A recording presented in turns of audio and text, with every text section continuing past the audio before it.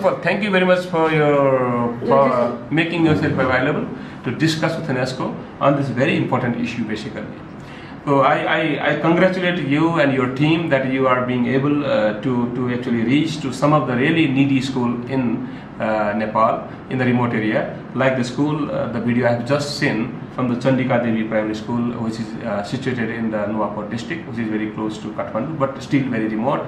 And the, the students who were actually, who are speaking in the video are coming from the very disadvantaged group. There's an, another value added for your work basically, right?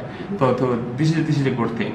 While looking at this, and while looking a small video from from uh, one of the Japanese school actually, what I have realized that actually this kind of you know initiatives need to be scaled up, scaled up, right? And then many schools in Japan and the many schools in Nepal has to be connected through this kind of work basically.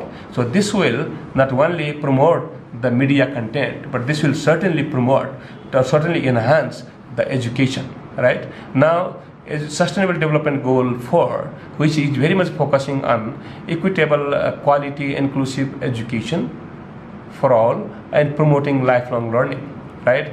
So Nepal has already committed for the SDG 4, uh, SDG 4. That's why the, if, if we are able to scale up those work, so Nepal will certainly be fulfilling the conditions of promoting lifelong learning within this project. This is to me very much related to lifelong learning. Of course, we can actually see these contents within the broader framework of education for sustainable development, global citizenship education, which are very much discussing about the intercultural dialogue, intercultural understanding basically, and then value education, civic education, citizenship education, these kind of things. In, in relation to UNESCO basically, UNESCO have been working some cross cross sectoral work basically, right?